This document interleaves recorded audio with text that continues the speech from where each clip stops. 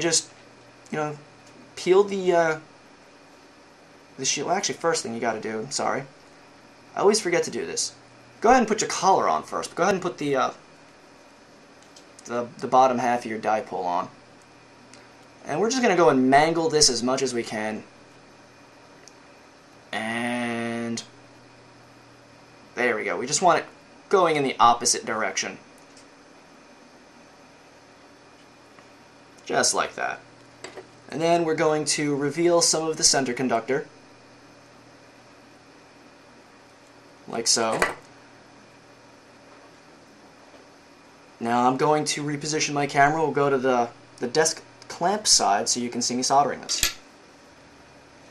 Here we have the bottom half of the dipole locked firmly in the clamp. And you know what? I retract my statement earlier. It is actually easier to put this bottom half on after you've pulled all of this back. Once you pull all of the shielding back, feed this through the neck and out the top. And you can expose this a little bit. And taking the soldering iron and some solder, try to get this affixed. Remember, don't use an excessive amount of heat. You don't want to melt any of the important stuff on the inside, and you especially don't want to ground anything. So you don't need an excessive amount of solder. Just get it affixed into place nicely.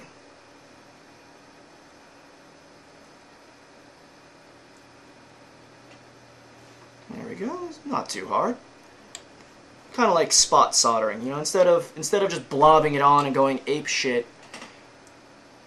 just heat it up a little bit, apply a bit of solder, and just let it flow. There we go. That's going on nicely. There we go. So, make sure we get that nice and shielded up. It doesn't have to be super perfect. So, alright. Not excessively difficult. Okay, I'm gonna let this cool down a little bit before we go to the next stage. Okay.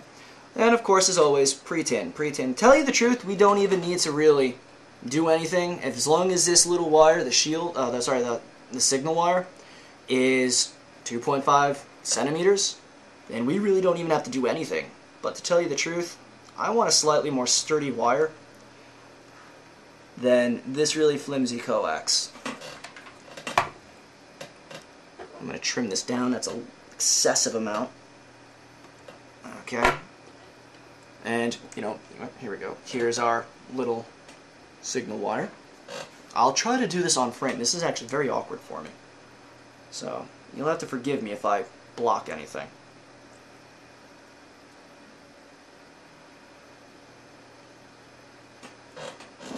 There we go. Not the prettiest solder job in the world, but it'll work. There we go. We have a nice little itty-bitty dipole. But it's unprotected. Uh, any of the elements can destroy this. I mean, even my fingers are throwing all of that off. So, I thought of something really, really ghetto-tastic. Took an old pen. Literally, it's just an old clicker pen. Pen. Hi, I'm a pen.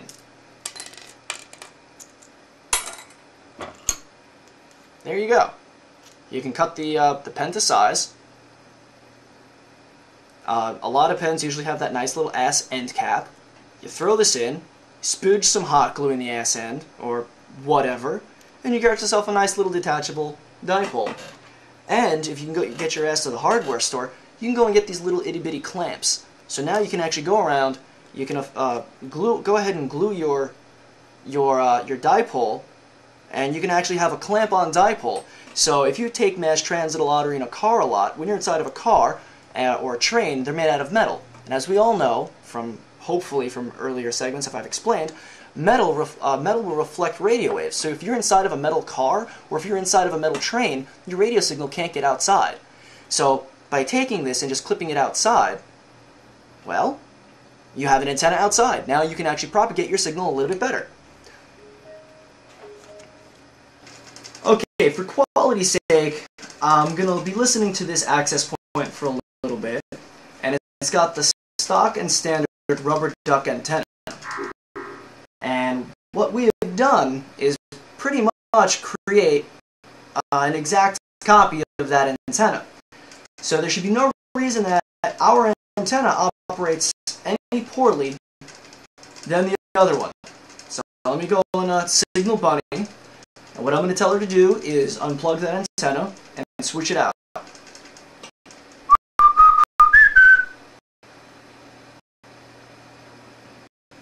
Alright. And notice how we have no signal. She's swapping out the antenna.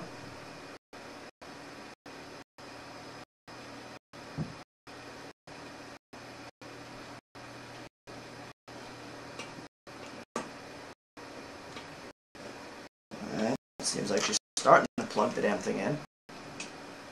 There it goes. So it goes to show you that the antenna that we've created, now of course this access point is clear across my house, in my lab, cutting through two walls, and as you can hear from that stumbler going off every two seconds, I've got currently uh, nine active access points that are interfering with me. So, it goes to show you that the antenna that we created is just as good as a rubber duck. However, because it's on the end of a cable and we can put this outside of our window or outside of a vehicle, this antenna is actually better than, uh, in its features, better than an original, an original one.